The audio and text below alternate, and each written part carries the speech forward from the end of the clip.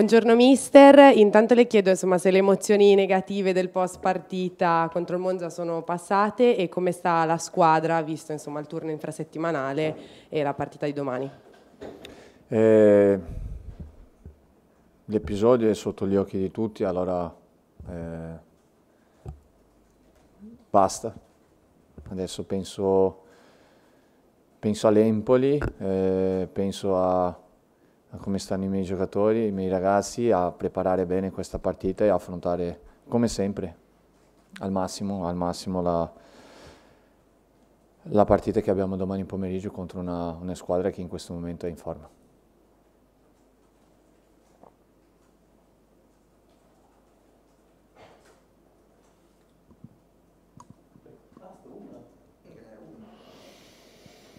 Buongiorno mister. Seppur in due stagioni, da quando sei arrivato al Bologna, hai ottenuto 55 punti in 38 partite. Sei rimasto sicuramente per fare meglio e per migliorare questo risultato.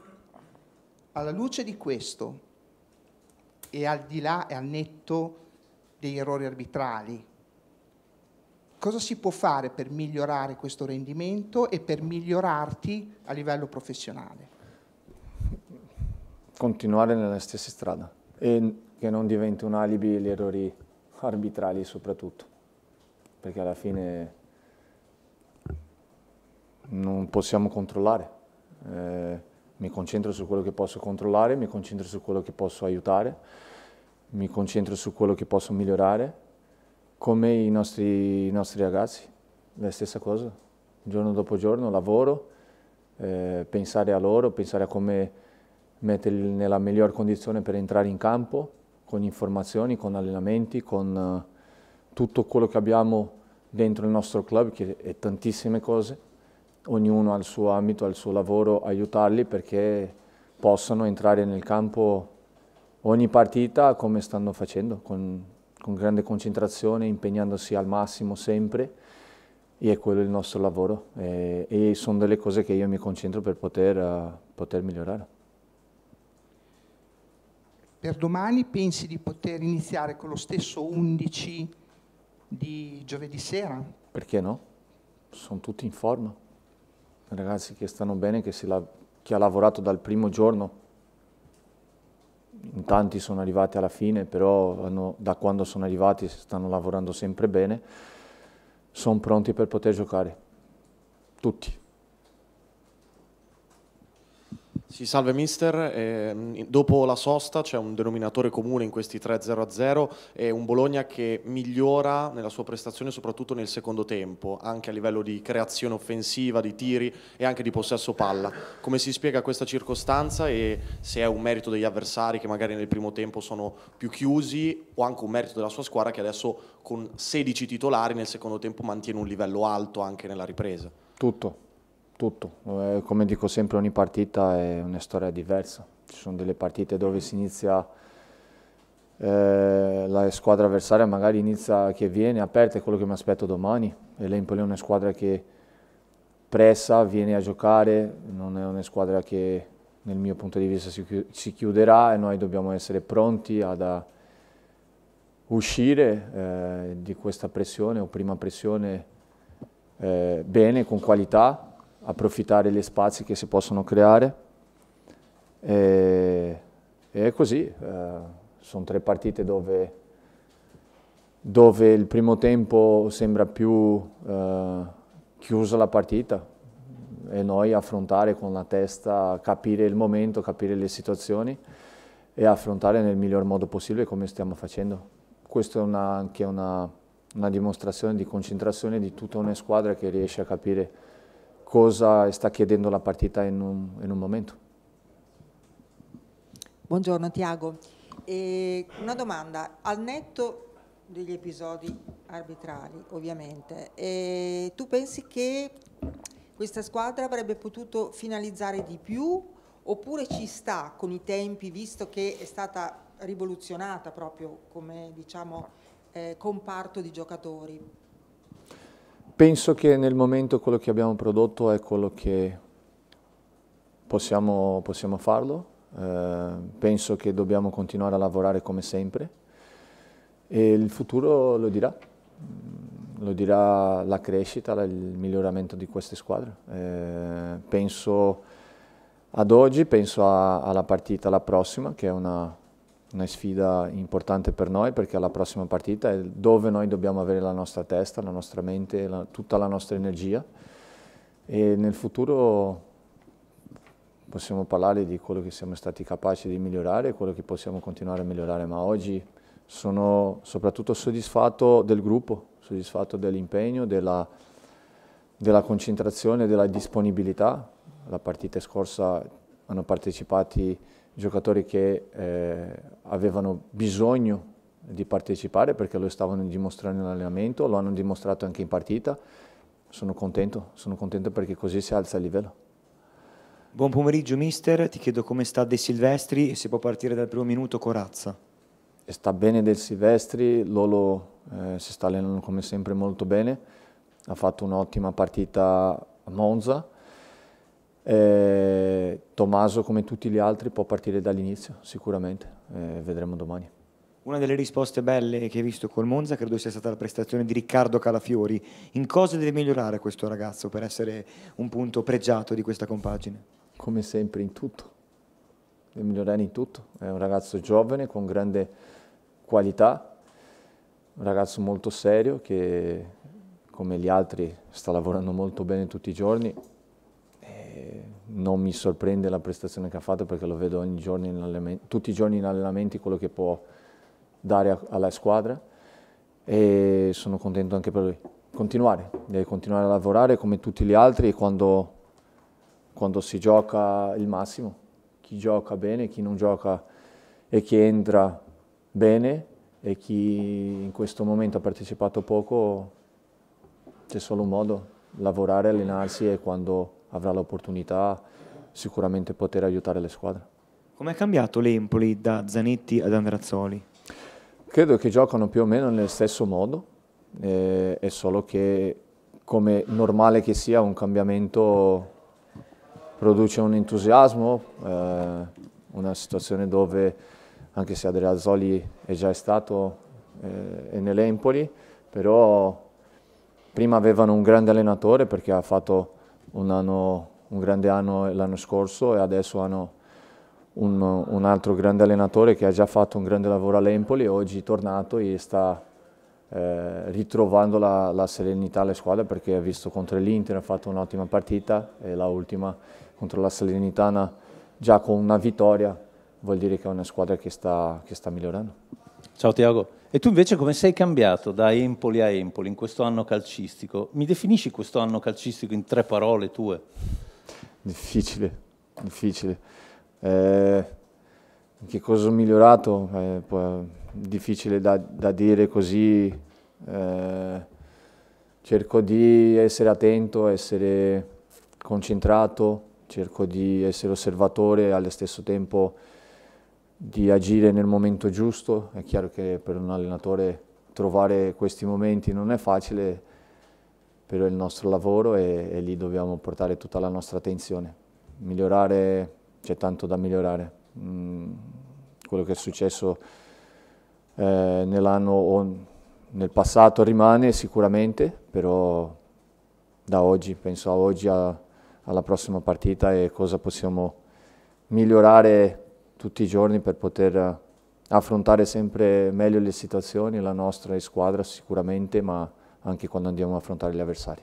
Senti, la seconda, un, un ragazzo che evidentemente si deve ambientare, forse deve variare anche le proprie giocate, secondo me, ma comunque deve migliorare Carlson. Uh mhm. -huh. Come ci stai lavorando?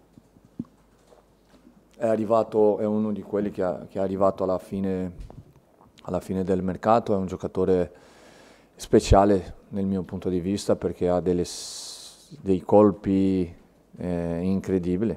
Eh, è chiaro che ci sono dei ragazzi che devono avere un po' più di tempo che un altro per poter adattarsi e inserirsi dentro un gruppo.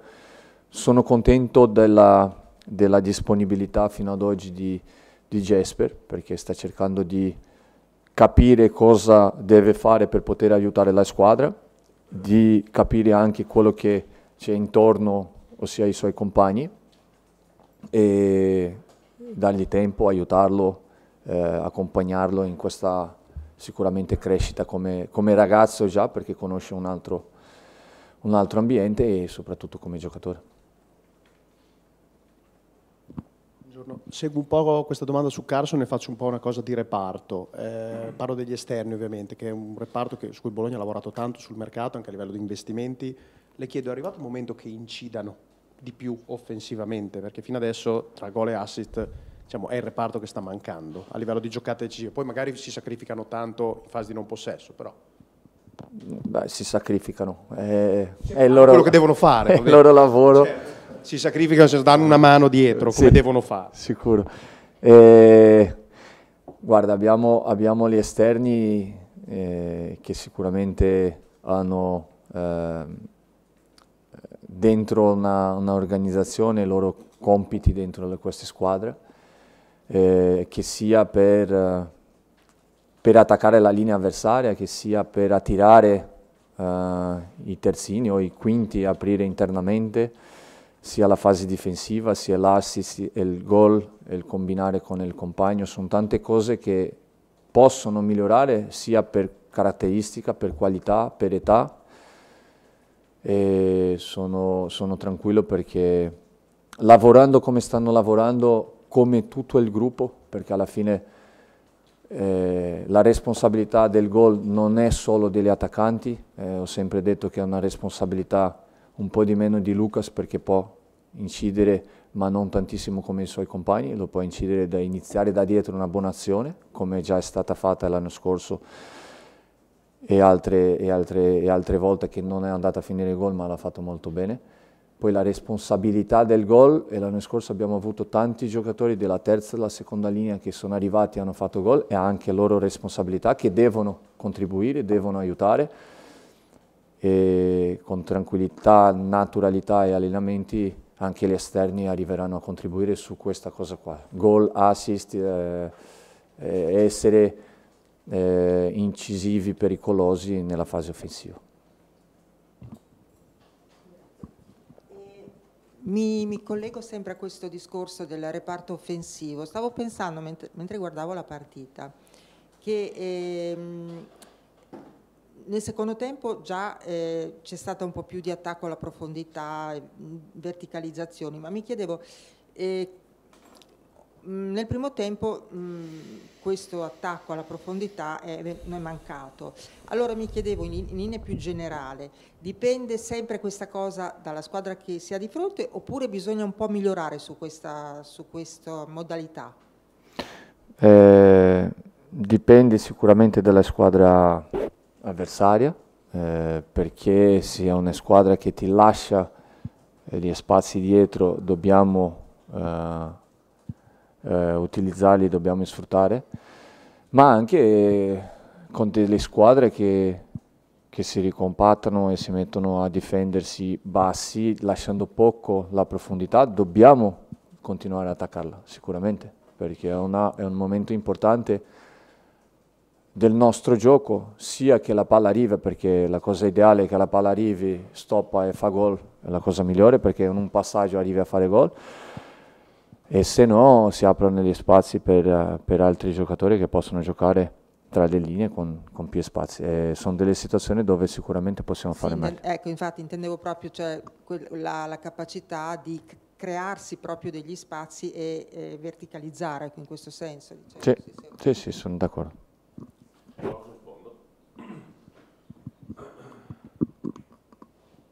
Salve, mi ricollego a questa cosa dell'attacco. Volevo chiedere, ma secondo lei questa squadra ha un problema legato al gol o è diciamo, una questione che va di partita in partita o è un problema più generale? È una situazione dove quando si parla di attacco si inizia, ripeto, si inizia con Lucas. Non, è, non dobbiamo solo fissarsi su, uh, tra virgolette, attaccanti. È chiaro che loro sono più vicini alla porta, però quando io parlo di difesa il primo è Joshua e quando io parlo d'attacco il primo è Lucas. Vuol dire che per migliorare, perché non è un problema, per migliorare una situazione abbiamo bisogno di, di tutti, che sia nella qualità, che sia nella velocità, nel ritmo, nella intensità, nel momento giusto, per poter, per poter mettere in condizione un compagno a, a finire bene l'azione. La, Ripeto, stando gli attaccanti più vicino alla porta avversaria, fanno parte di questa responsabilità, magari un po' di più degli altri, ma tutti gli altri hanno responsabilità offensiva come tutti hanno la responsabilità difensiva.